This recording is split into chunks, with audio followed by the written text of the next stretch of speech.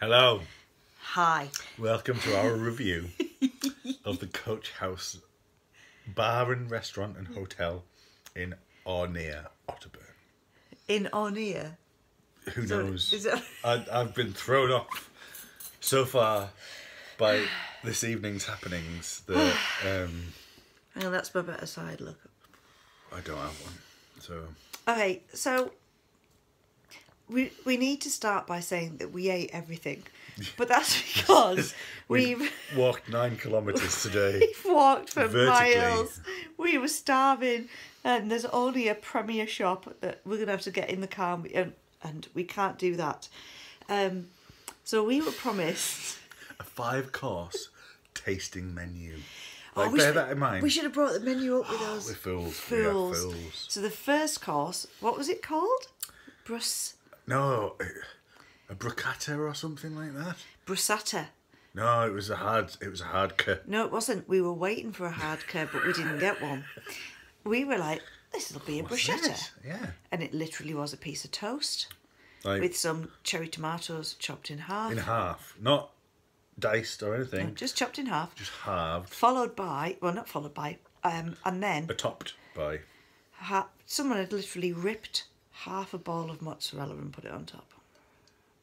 We did. No, the genius of the dish was that they'd warmed it, obviously under some kind, of, some kind of grill. Yes, So the top half of the massive chunk of mozzarella was lovely and warm, leaving the bottom half lovely and chilly to Stone provide cold. contrast. Stone It was a contrast of Yeah. of temperature and texture. Hang on, I'm gonna do. No, don't do. No, I'm in my pants.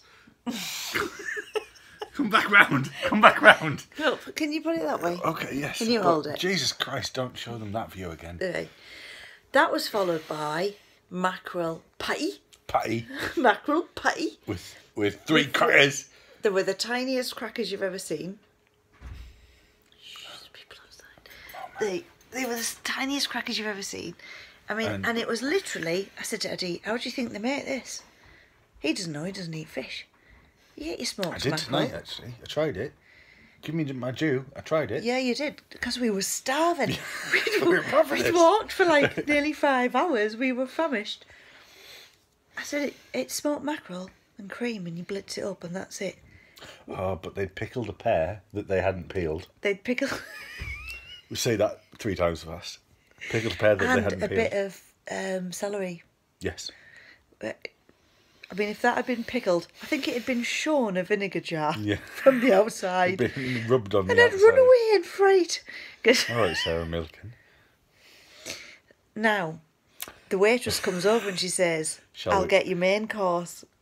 We're sceptical because we've seen the main course is lemon, lemon sorbet. sorbet. So you're three courses in to a five course tasting menu, and they go, an entire course is lemon sorbet. Now, to be fair, I love a lemon sorbet as Yeah. a palate cleanser. This was inedible. This was Tesco's own brand This lemon just- sorbet. No, I think what they'd done is they'd gone out, they'd gone, ah, are there some lemons around? And they'd squeezed them over ice. It was basically a snow cone, wasn't it? It, it was inedible, like absolutely inedible. But that's okay.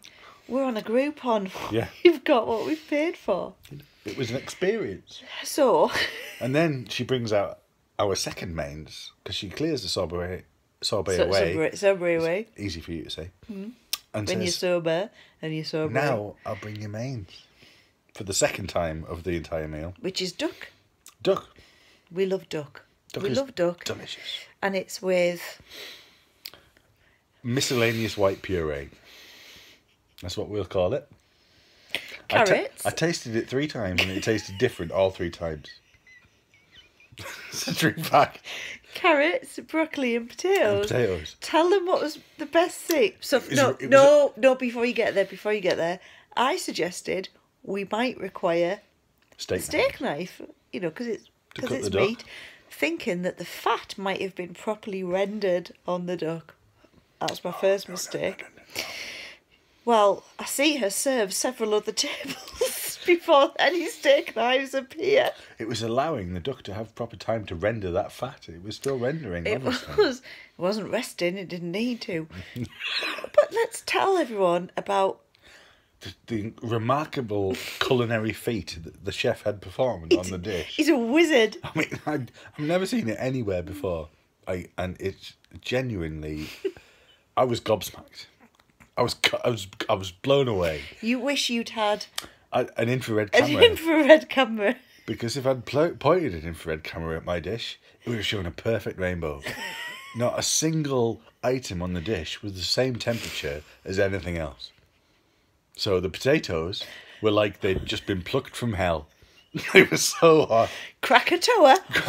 There's your tater. Your carrot, that was a, that was a mild warmth. That had been left on a three bar radiator for half an hour.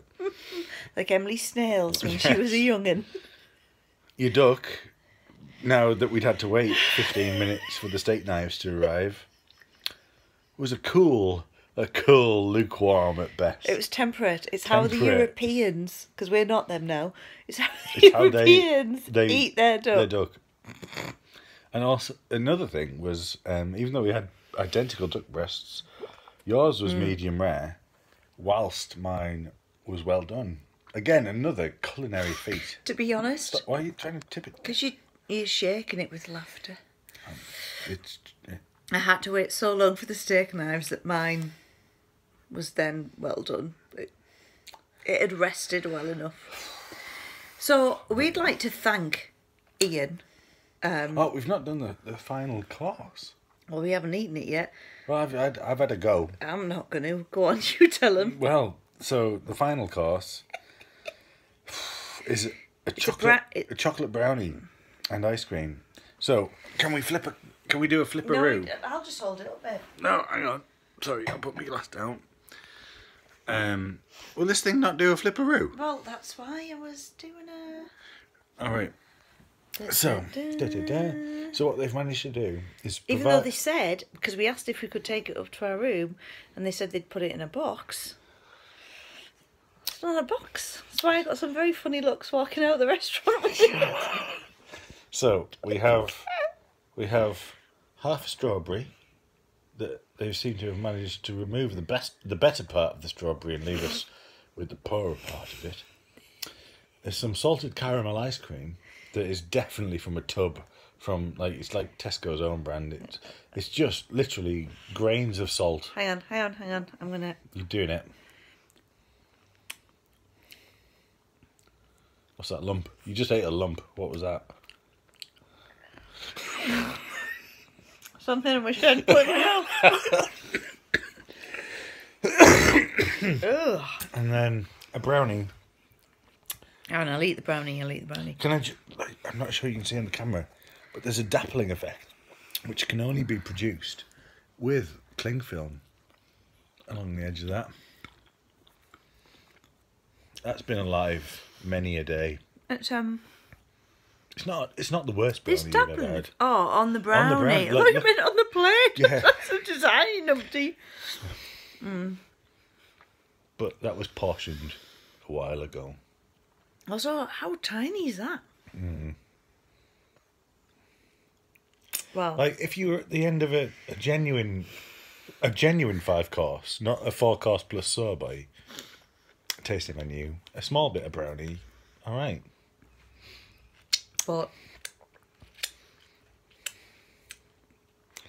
Don't go to the coach house in Otterburn. Or at least Coach if you horse. coach house. Sorry. Um, no. Or if you do, Breakfast. We've still you- got breakfast. if you do, if you do go here, treat it for what it is. yeah. Like get Don't a get a tasting menu. Don't get a tasting menu from people Although, that have no taste. That's going to be our tagline. Don't get a tasting menu from people who have no taste. That's that's it. I saw the burger came out. It looked fine. They're Yeah. definitely just um, oven chips. They were Hmm. sad times. Nana Anyway. Ringy. Nana Ringy. They weren't yum chips. Oh God! Oh, I would kill for some Nanaringi chips right now. I would hurl people from balconies for some Nanaringi So chips. a- all I want to say is we need to thank Ian our guide today because if he hadn't had us work up an appetite, We wouldn't have touched a fucking thing. no, but we had to. We we were starving. We were starving. So here's our review. Watch what you get on Groupon. Bye.